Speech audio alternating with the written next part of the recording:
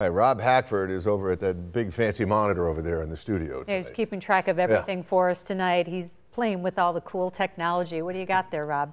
Yeah, talking a little bit about the Senate, the balance of Senate power right now in the U.S. Uh, you know, as much as the presidential election matters here, control is very slim right now with Senator Chuck Schumer as the uh, majority leader in the Senate right now. We spoke with UB professor uh, Conor Dowling about this slim margin, how, how this race could play into those down ballot races. Uh, the race here in New York State with Kirsten Gillibrand and Michael Sapraicone, not really competitive here. We are still waiting on those results to come in at 9 p.m. Uh, Gillibrand is expected to win uh, this race, uh, but we have a few others around the country, um, as you guys mentioned just a bit ago uh, in West Virginia, uh, where this balance could be shifting, which would spell bad news for the Democrats uh, and, and, you know, a good situation for Republicans who would be in that control or, or, gain uh, majority control as they already have with the House. So having that two-party control, potential win for uh, former President Trump, it'd be an interesting situation to, to have all three in control. It's been a little while since that has been the case. I can't speak to that specifically. I'm sure uh, Professor Donahue could uh, touch uh, or elaborate on that a little bit. But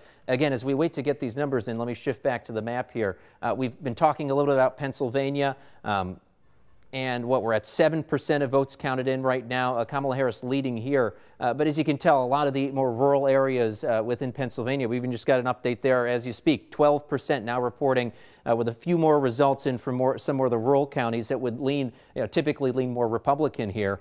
Um, again, Harris leading here, only 10% though. So this is largely, or a lot of this is going to be um, the early vote that's going in and some of the very initial numbers uh, with polls closing in Pennsylvania around 8 p.m. Uh, so let's switch back here. We can check out another state at this point. Uh, North Carolina being another swing state here, another place where we've been looking for numbers.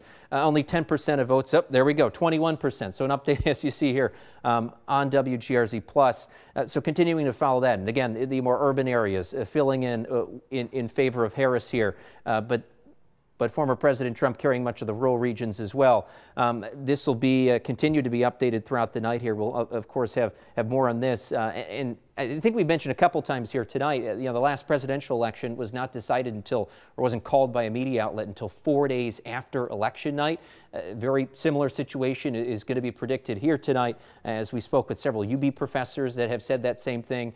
Um, and we're actually going to hear from that UB professor, uh, Professor Conor Dowling, uh, talking about the a very tight situation with races for the U.S. Senate right here.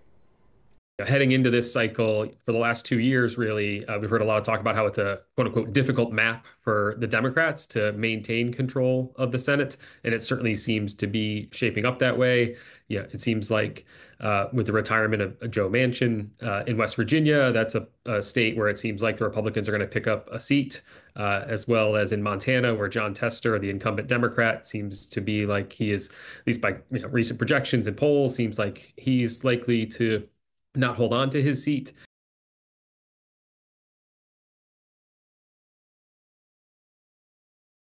Yeah, so while New York really isn't playing a factor in that decision with Senator Schumer still in office and then Senator Gillibrand expected to win her race, uh, we'll continue to follow those changes um, in those states that we mentioned, you know, West Virginia, Montana, a few others as well, uh, where we could see that, that trifecta per, perhaps happen with the House flipping, uh, the Senate, um, well, the House maintaining, part, pardon me, the, the Senate flipping, and, and the President uh, becoming, uh, former President Trump taking control for the Republicans, that trifecta there. Scott Mary Alice?